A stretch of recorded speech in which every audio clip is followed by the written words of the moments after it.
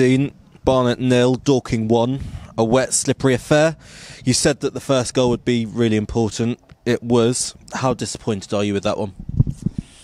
Look, we started the game blistering tempo, got after them, some glorious opportunities, and the first goal is key in any football match, you know. And um, yeah, so look, we're frustrated with the, with the defeat. You know, we've it's two games really.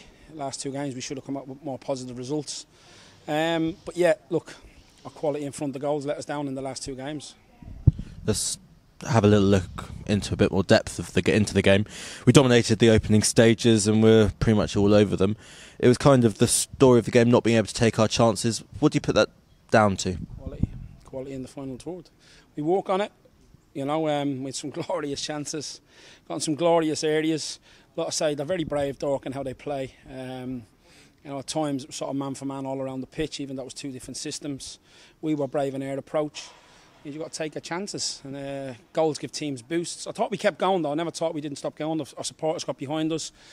And really, I don't want to be relying on referees, but I think Aggie's one of the better referees, if not the best in the division. I have to be honest. I think he's an excellent referee. I've come up through my career. He was in the National League South and stuff like that, and even the step below. Um, I've just looked back to the video. We've scored a clear goal.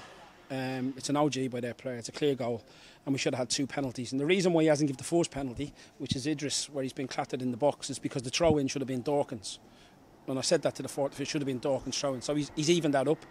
And then the second penalty is handball. It's ridiculous. It's a save, you know, where Gormos sort of dropped his shoulder. So, but look, what's the point of moaning about the referees? We can't rely on the referees. We've got to on ourselves and our own quality. And uh, the story of the game today, just toothless in front of the goal. Is there any aspect of that Dorking performance that surprised you that you weren't necessarily expecting tonight? You just have to score when you're on top. That's the business.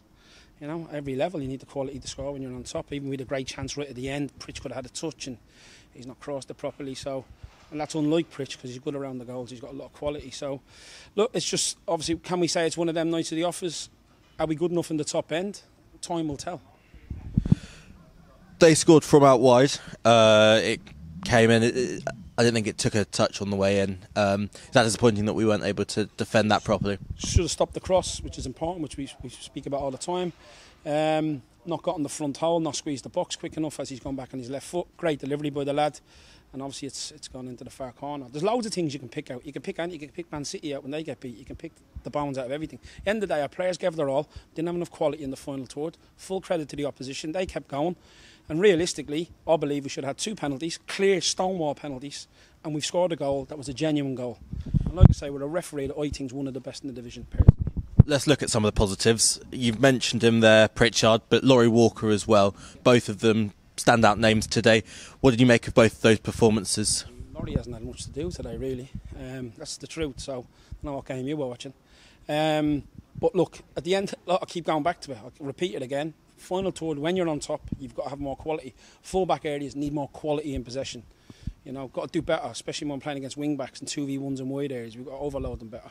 Need more quality in possession. So uh, that's something we keep working on. We keep striving to work on. Can't knock our honesty, our togetherness. We kept going. Our supporters kept driving us forward.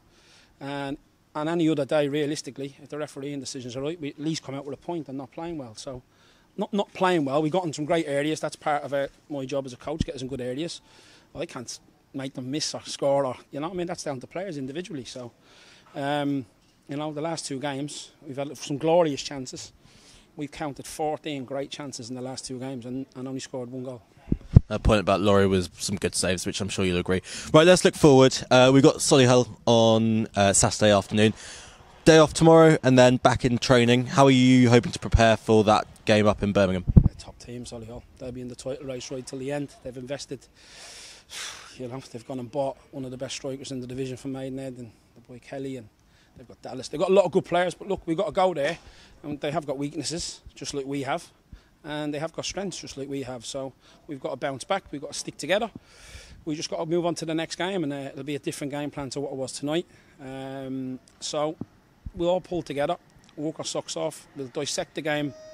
I'll watch it tonight and tomorrow get the clips ready for the boys Tuesday morning, draw a line underneath tonight's game on Thursday morning, and then move on to Solihull. So, which, like I say, for me, I expect them to be in the title race, which they were last year. Dean, as always, thank you very much.